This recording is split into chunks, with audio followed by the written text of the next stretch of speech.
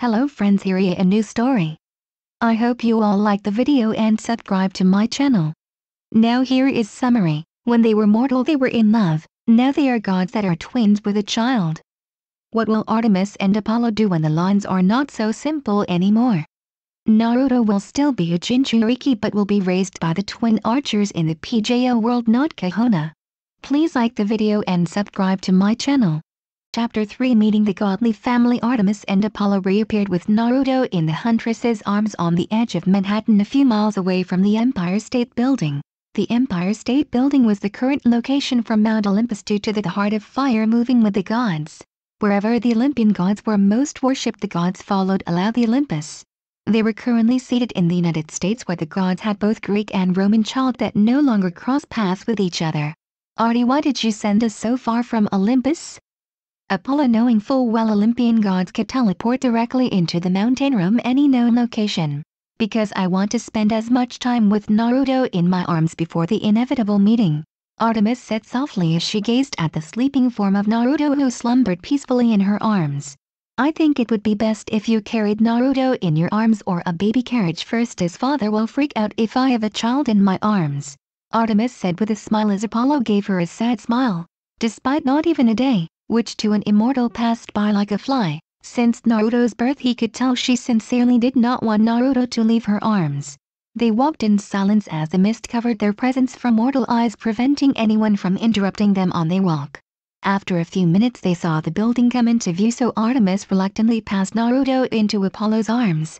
Apollo quickly summoned another blanket to keep Naruto warm as he placed Naruto into a baby carrier with both gold and silver blankets covering his form.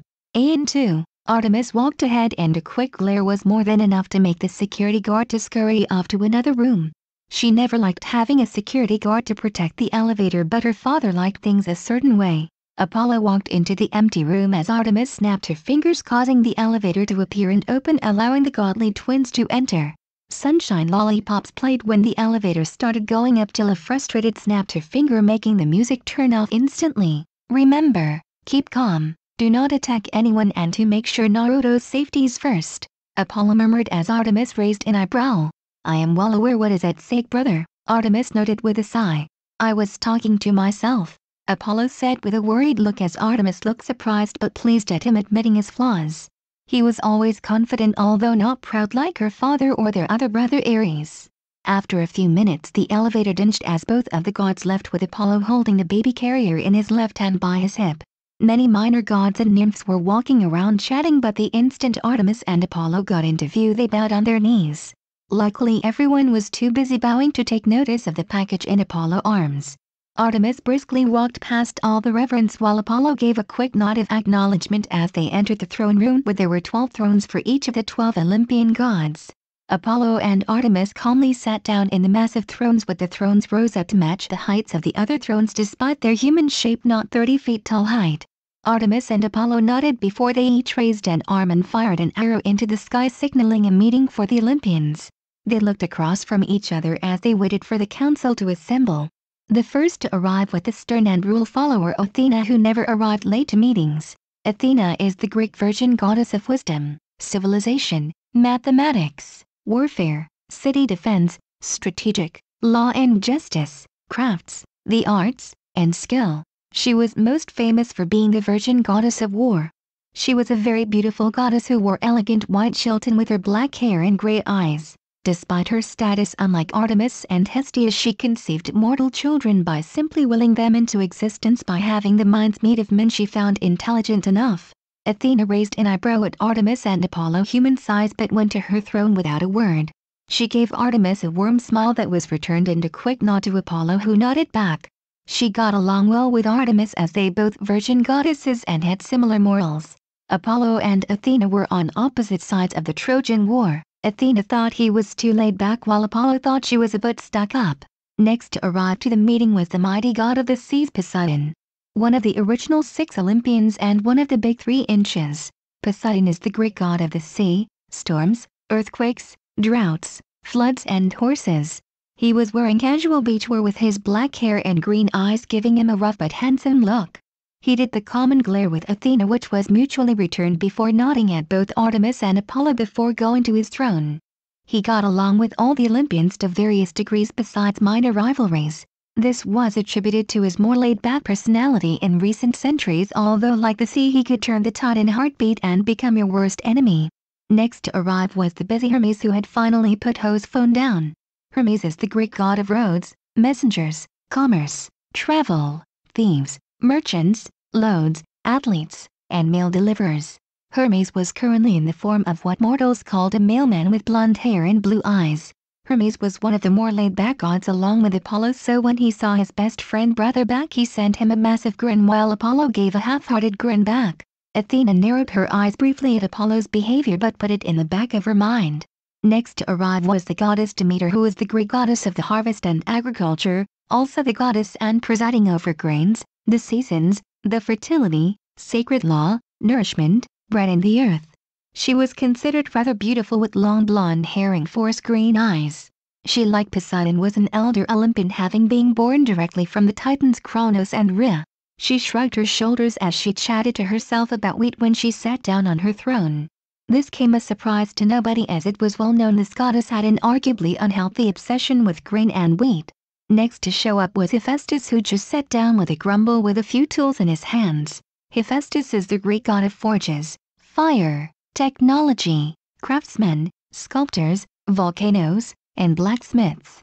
He was arguably the Olympian most pitied on Olympus as his mother for not meeting her expectation of an ideal son tossed him off Olympus crippling him forever. Despite more or less making peace with his mother his injury continued to plague him to this day.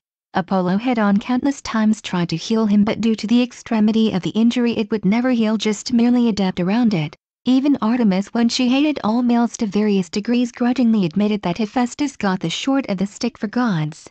Next to arrive were Aphrodite and Ares together who looked like they had a rather rough day of sex and hid no attempts to hide it. Ares even went as far to smirk superiorly to his brother Hephaestus for sleeping with his wife which was ignored. Ares is the Greek god of war. His symbols include the boar, dog, wolf, spear, sword, and vulture. Ares currently looked like a common biker thug which was believed to epiform Aphrodite currently enjoyed him as slash Ares was rather disliked by most of his fellow Olympians as he had an insatiable love of violence which made even his parents Hera and Zeus war of him.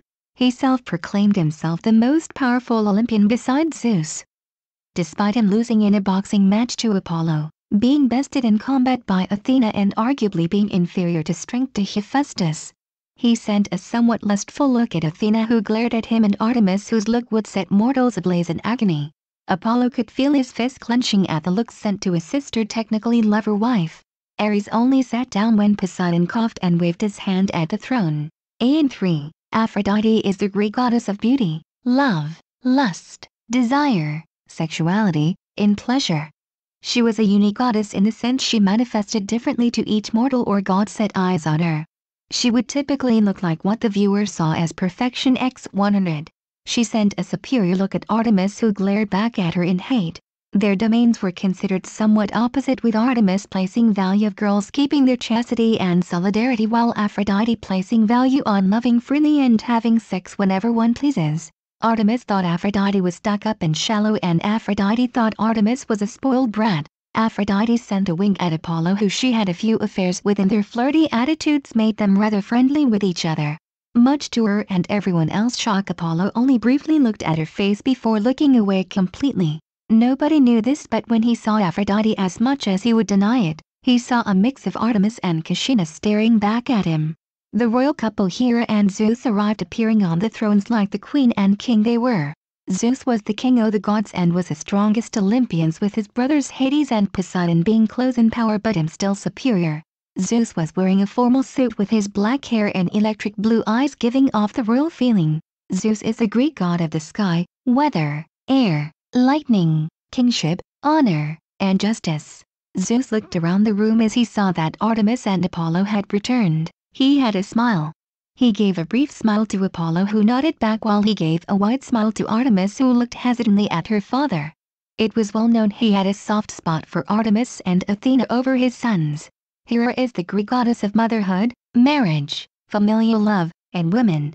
She was married to Zeus but despite her domain itself being marriage it did little to nothing from Zeus having countless affairs and children.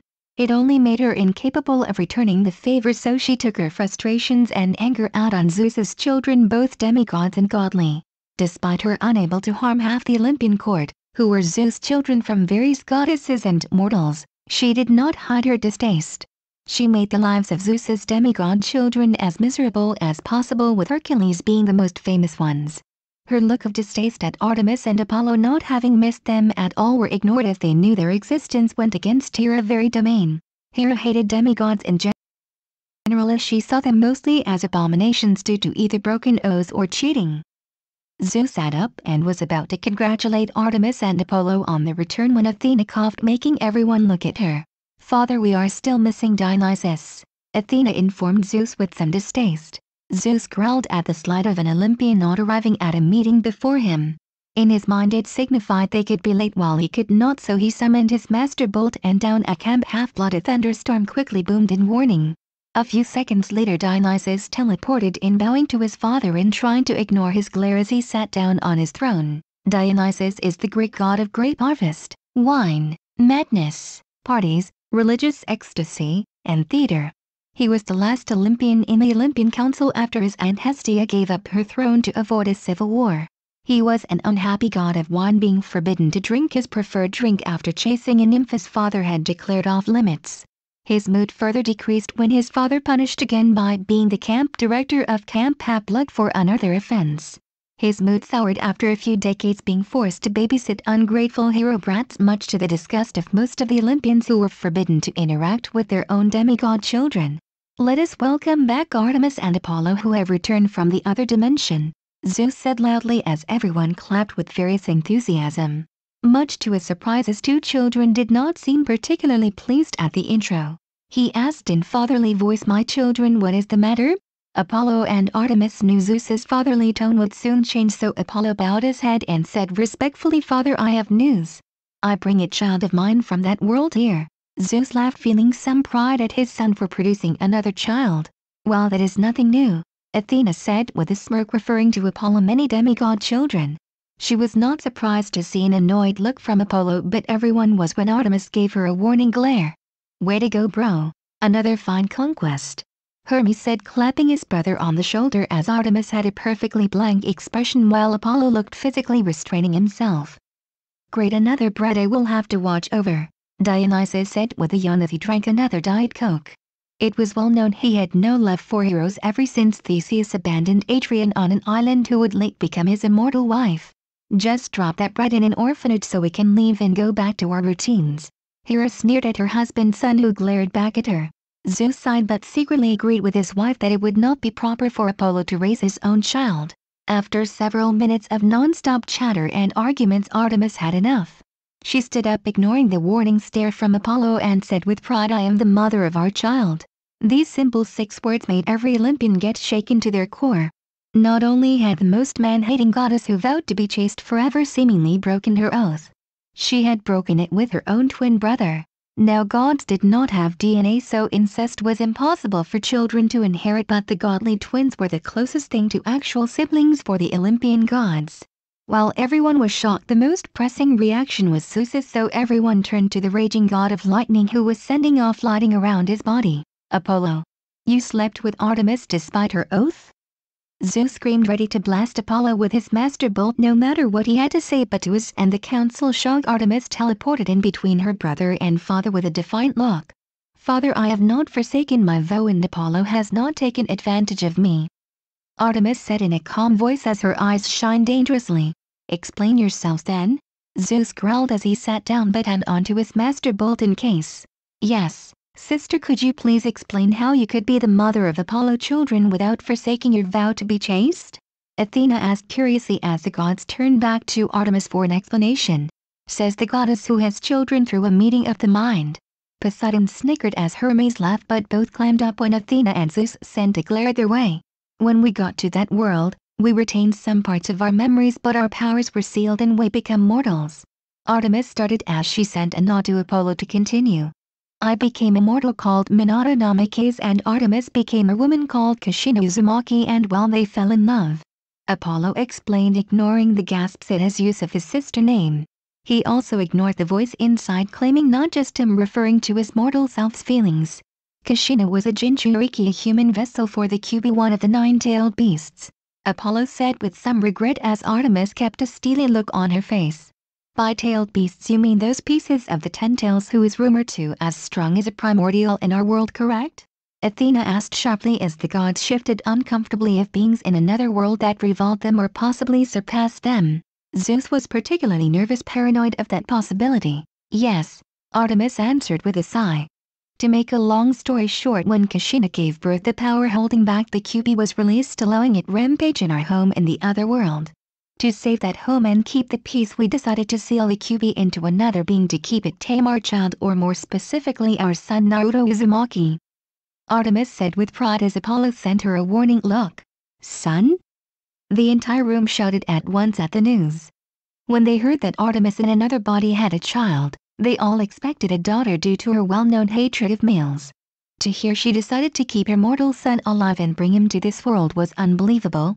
The room got quiet when they heard crying and whimpering from Apollo throne. It appeared that all the shouting and yelling had finally reawakened the scared baby boy from his sleep. Instantly Apollo reached into the baby carrier and pulled the crying boy into his arms. The baby quieted down but still looked scared at all the giant beings looking at him in disbelief. Naruto managed to turn his head until he recognized his mother and reached for her with his tiny arms. The god stayed quiet expecting Artemis to reject a child who was clearly a boy but much to their shock the stern expression on her face had turned into a warm motherly expression. Naruto sorry for yelling. Come here my baby. Artemis said sweetly to the baby as she lifted him out his father arms into her own. She quickly rocked him which made him stop crying and quickly looked at her with all the innocence in the world. Uh, Apollo please continue the story. Artemis seems distracted. Zeus said with a stutter at the sight of his man-hating daughter being a true mother to her baby male child. Yes father, Apollo said with a bow before he continued. After sealing away the Kyuubi into Naruto our mortal selves and our godly selves were released. Believe me when I said neither of us realized each other true identity but we were still overjoyed at the sight of child so we chose to bring him here and present him in front of Olympus. Apollo finished with pride. The gods did not know what to say at this point but Hera made her feelings known very quickly. So, what is that spawn? A mortal, a god or a demigod? Hera asked with a notable sneer as Artemis and Apollo glared heatedly at their son being implied to be a bastard. Lady Hera, Apollo said a sneer our son was born when our mortal selves were married so he is hardly spawn. Apollo announced getting a shocked expression from Hera as children outside of marriage was against her domains. Hera became speechless and a bit surprised as this new development made the child in her eyes more worthy than almost all demigods. Artemis, Apollo please answer the question on what species your son is. Zeus said in a polite but impatient tone of voice. Sigh he is mortal father as he was born from our mortal selves but he does have chakra so he can easily have powers rivaling demigods. Apollo said reluctantly due to a look from Artemis telling him to tell the truth. Now what to do with this child? Zeus said thoughtfully as it appeared now Naruto was neither the child of prophecy or due to a broken oath so he was a wild card at best right now. He saw Apollo and Artemis giving him pleading looks, Poseidon gave him a wearing look as he never liked killing kids if he could avoid it. Dionysus clearly did not care. Demeter looked neutral. Hermes looked at the new parents before giving him a look to let them raise their kid. Aphrodite looked thoughtful likely thinking of a love life to give the child if he so lived. Hera gave the child a look of almost motherly affection which disappeared when she caught him glaring. Ares had a look like he had an idea, Athena looked thoughtful as if calculating the pros and cons of the child, and Hephaestus clearly looked uncomfortable at the idea of killing the child which Zeus mused made sense due to his childhood. Kill the brat. Ares said with a grin as he smirked at the outraged expression of Artemis and Apollo faces. Think about it father, this kid has the power to rival one of us if he masters the power of the Kyuubi and if we kill the kid now before anyone finds out Moon Virgin had a kid no one will ever doubt her chastity again? Ares claimed feeling pride when his father looked thoughtful at the idea. Aphrodite frowned at her boyfriend as she couldn't plan to the love life of Artemis' first child if he was dead. Hephaestus glared at his brother and looked ready to argue for the child's life. Demeter looked uninterested along with Dionysus.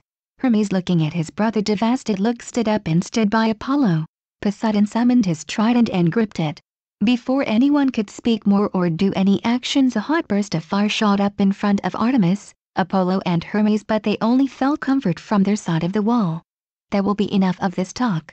A woman's voice shouted as everyone turned around to see Hestia walk up in human form but with an intimating look on her normally warm eyes. Hestia is the Greek virgin goddess of the hearth, home, the right ordering of domesticity, and family. She was the eldest Olympian being the firstborn of the Titans Kronos and Rhea.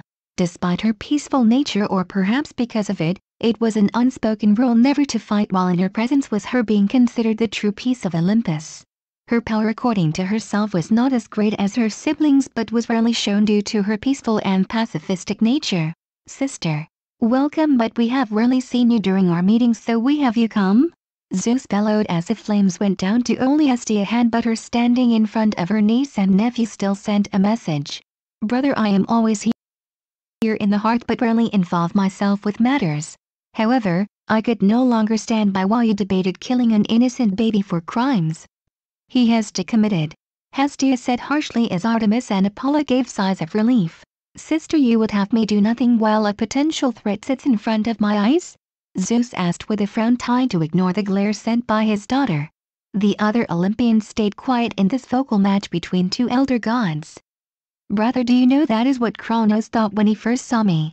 Hestia said with sadness as all the Olympians looked on having heard or experienced the elder god's time with Kronos. When I was first brought into this world, I saw his eyes full of love but when he saw me it changed to fear. Despite mother attempts he swallowed me to try to avoid a future problem.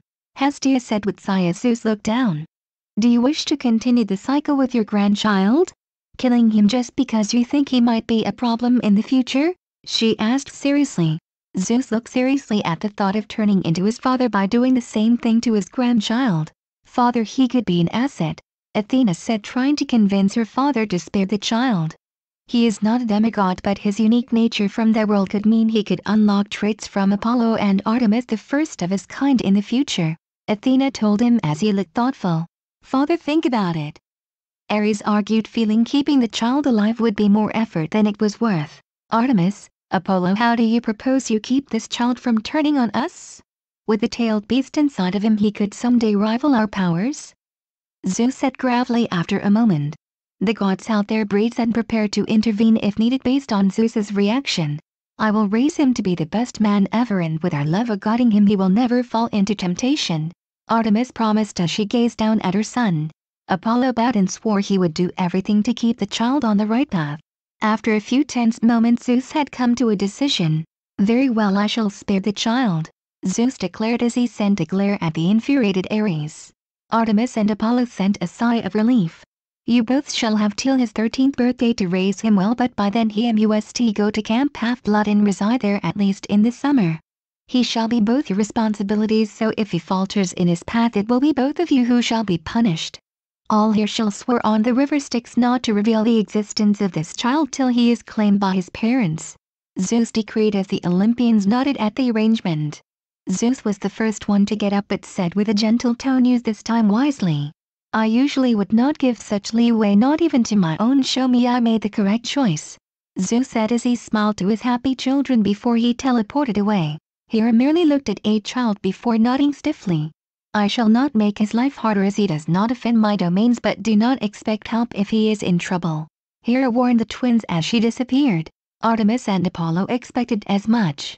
Poseidon sent a grin at his nephew and niece as they walked over Zeus didn't choose that decision simply because he was kind you know? He told them with a frown. Father seemed strange at the last part.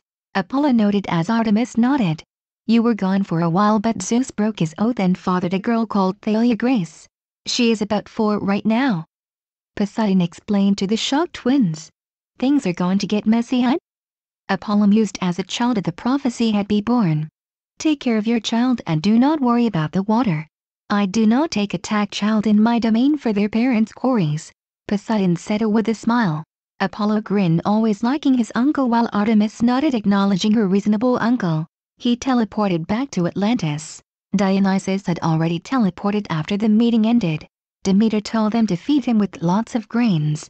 Hermes offered to take their son on the bachelor's life only to dodge a throwing knife from a furious Artemis. Aphrodite offered him a unique love life which Artemis scoffed at. Ares glared at the twins and promised that in the future their child would not be coddled so much. Athena told them to raise him well and she was looking forward to what he would do in the future. Hephaestus grumbled that the kid seemed to have a lot of love in his life already. Lastly when all the Olympians left it was just the winds, Naruto and Hestia. Naruto saw Hestia and tilted his head making her smile at his cuteness. She asked if she could hold him and after some talking, they agreed with Naruto initially refusing to leave his mother's arms. After Hestia rubbed his cheek softly, he let go and snuggled into his warm and making her smile. The happy parents decided to name Hestia Naruto's official grandmother who agreed and told them she would look out for Naruto while he was a camp half-blood away from them. After getting back Naruto who seemed sad to see Hestia leaving they teleported together to Artemis Hunter's camp to explain it to Naruto's sisters. I hope you all liked the video. And if you all want the next part of this video please like the video and comment 3 hearts. Please subscribe to my channel so whenever I upload a video you will notify.